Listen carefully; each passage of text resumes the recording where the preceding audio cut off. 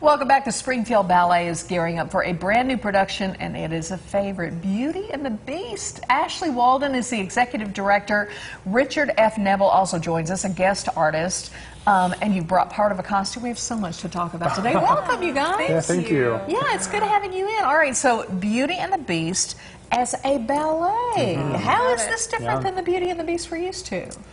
Um, it definitely takes inspiration from the ones we that you're used to. Uh, definitely taking a lot of the same characters, but because it's a shorter time period, you have to condense it down. Mm-hmm. And there's no singing, so you have to do a little bit more stretching of the imagination. So it's an interesting way to blend, you know, the different types of art. Oh, yeah. Um, and ballet uh, gives you an opportunity to really open up some of the characters. Um, living Sure. style, how they live and what they do during the day, and um, then you kind of condense the story down faster.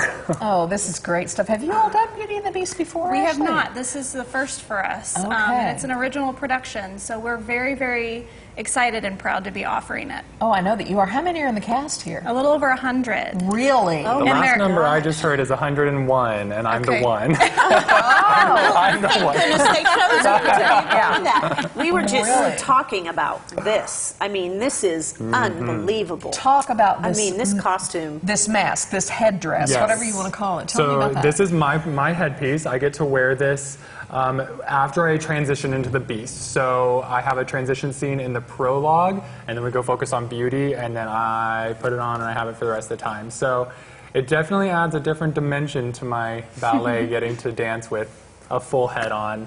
And then um, the costumer did a really great job working on making the horns not super heavy. Yeah, I was. yeah, I was feeling that. Um, Yeah, That's gorgeous. so Yeah, um, that's she did an amazing job burnishing it, and then uh, we just had to adjust a couple of things with partnering and all of the like. So it definitely took a lot of extra rehearsal to make sure well, that. I would imagine that it would. Yeah. Jumping around and doing all the things that you have to do with something like this. Oh. yeah. So you turn around and it's not this way. Right. Yeah. yeah. She was really smart on how she connected it underneath. Not to tell too many secrets, but how she No, connected I it just- underneath. uh, So yeah, that- it's it stays on its hood and it stays pretty well on. to That so. that's That's yeah, great. That's and Richard, you are six seven. He is a tall drink of water. I noticed when you walked in, and when you put this on and you're jumping, the Beast is a formidable. Yeah, yeah. contender Yeah. in this There- show. you don't have to stretch your mind too far to, Oh. to, to make believe. That's going to be great. All right, so you also have a fundraiser coming up, yes? We do, yes, the first part of May. It's May 4th. It's um, our second annual Rendezvous on Point event. Um, so it's a single color event, so everyone is going to come in the same color, which is a sapphire blue this year. It changes every year, but it's a secret location, so we're not going to reveal where it is until just a few days before the event. Really? Yes, it's, okay. it's very, very exciting. It's classy, um, just a different element that we've not seen well, before. that's a fun so. idea. That is a fun. ad- Uh, yeah. all right, so you know the color. You have to trust us.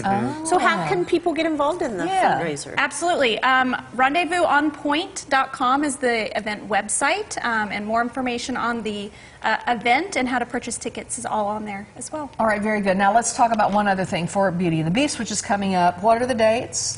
They it, show starts Friday the 12th, and they run through Sunday the 14th. Okay, and, and here's a little bit of iffy news. But just be honest here. It's pretty much almost sold, out. out, yeah. However, sometimes tickets open up, Mm-hmm. a group will cancel, some such thing. So, would you invite people to check back? and make- Absolutely. Yeah. Yep. Uh, the Landers box office keeps all of that information updated, so you can give them a call.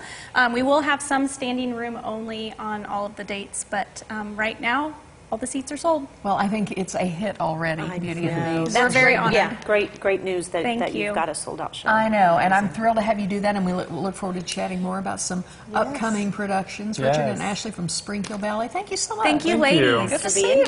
both. All right, stick around. Ozarks Live will be right back.